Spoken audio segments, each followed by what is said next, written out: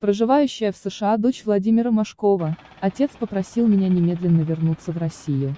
Вот уже много лет дочь артиста проживает с семьей в Америке.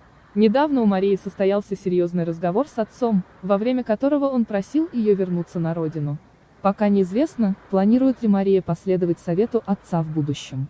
А пока она не хочет расставаться с привычной жизнью за границей.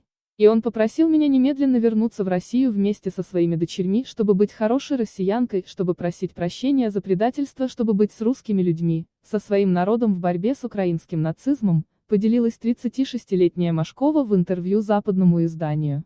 Напомним, за плечами Марии Машковой два брака. Вторым супругом дочери актера стал владелец сети магазинов по продаже музыкальных изделий Александр Слободяник.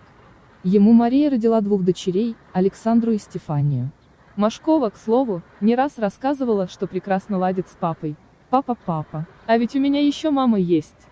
Когда ты ребенок разведенных родителей, то знаешь, как важно в этом вопросе равноправие.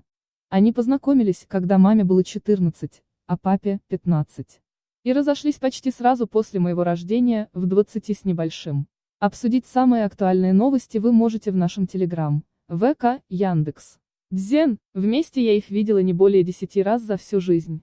Пару раз на моих днях рождения, на первой свадьбе, на вторую не позвала, решила не чистить, и пару раз по экстремалочке. К 30 годам я продолжала сбрасывать звонок мамы, если была в тот момент с папой. Но чтобы он не подумал, что она мне нравится. И старалась не давать понять маме, как сильно люблю папу. При том, что мама ни разу за все мое детство не сказала